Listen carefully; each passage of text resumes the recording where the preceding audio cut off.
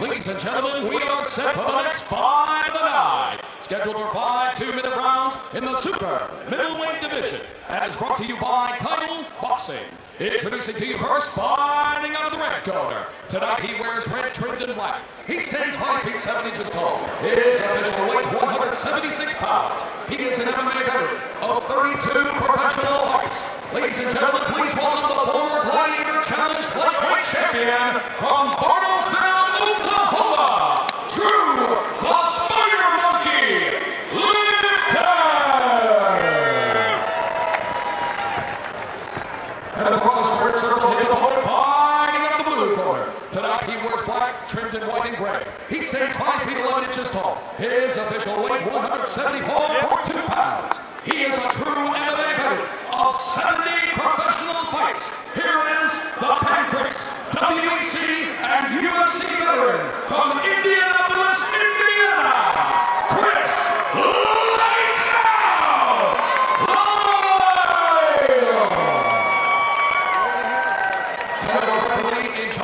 action, Wayne Spinola. Okay, gentlemen.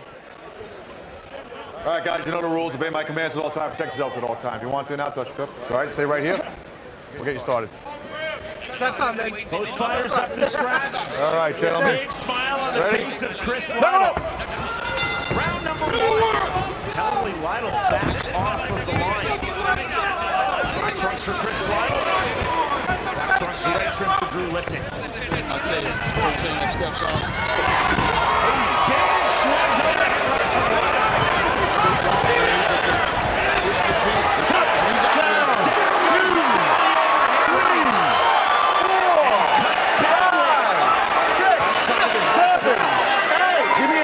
You okay? Yeah. My time. My time. Right here. Where's my cut, man? Right here. Right here. Chris, neutral. Chris Lytle looking like the punch coming out of the first round. Hey, Don, got my life together. Your turn move the ground tonight. Yes, sir. Where's the Yes, doctor? sir. Y'all good? Where's the doctor? Ain't even in my eye. Let's go. They got it in my eye. Give it to him. Lipton jumping to the overhand right. In my You eye. see Let's go. split badly outside of his left eye. Swelling over that left eye. You locked him? Set up with some good body shots good? when had in the corner over there. Yeah, hard. Yeah, he hit. He hit. Yeah, he does. We're good? Yeah, yeah, man. He's Let the doctor tell me. That's good. 30 seconds is up. Let's go. We're good. All right. All right. Over here. All right, gentlemen. Here we go. Level up. Time in. Round one continues. I think, can already see the finish line. We'll see how hard he goes to reach it here in round one. Lytle to the inside, landing no big shot. From right to the other side, from Lytle, but he's coming home. Second knockout.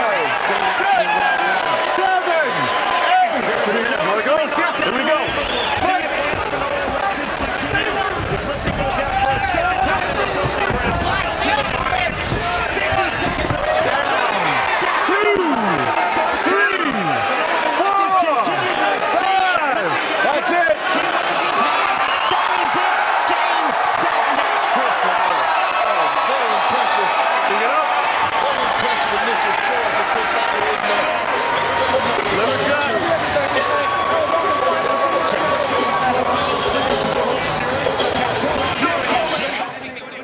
Waved his hand. The referee Wayne Spinola saying that was it. Chris Lytle is back with a vengeance. Here is Jeff Houston. Ladies and gentlemen, our referee in charge, Wayne Spinola, steps in and calls a stop to the fight at 1 minute 18 seconds into round number